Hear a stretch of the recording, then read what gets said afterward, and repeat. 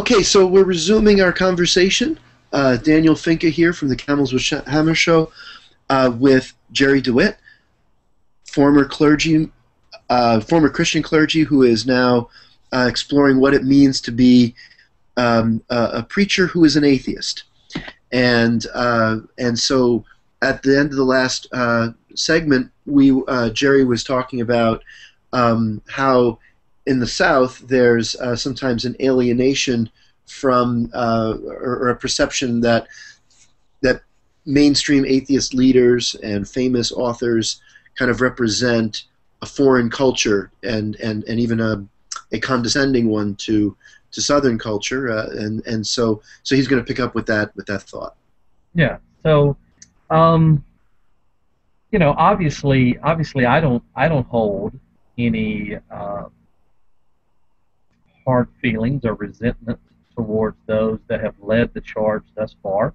You know, I'm very much in love with the Four Horsemen, but at the same time, it's it's obvious. It's not just obvious to me, but it's obvious to people outside of the movement who interview me or come across me and instantly draw a comparison between me and you know the Ivy Leaguers. Um, that that it isn't always everyday language. I mean, I, I truly consider myself to be a uh, you know an, an everyday person, and that's not insulting to say those other people aren't. We're probably all trying to be more like them, but at the same time, we have something to offer, and not just to offer the movement as a whole. That's probably too much of a stretch.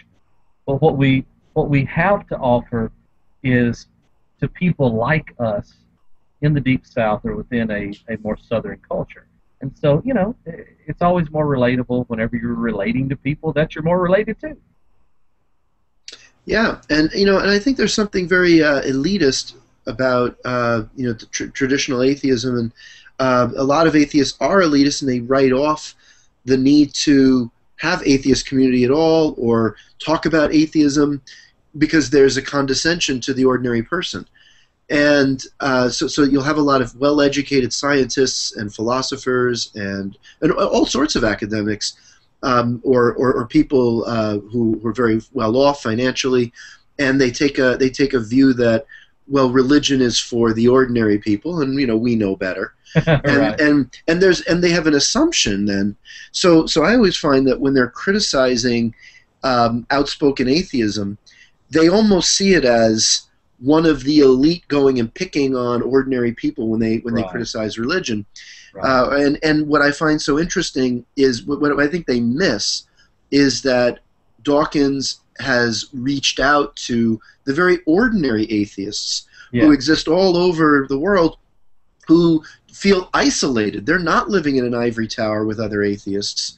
They feel alone in their atheism and, and they, they feel like an outcast for their atheism and and there's a there's a whole consciousness about that that of raising the identity of ordinary atheists to be to know that they're not alone and and and to, that they're normal and that they're they're um, they're they even have the intellectual uh, community very largely on their side, Absolutely. even though the intellectual community won't out, you know explicitly support them.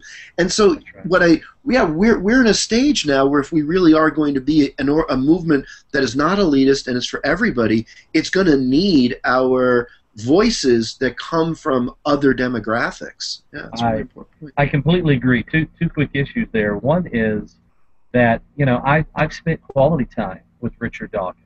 I know that Richard Dawkins is a compassionate person.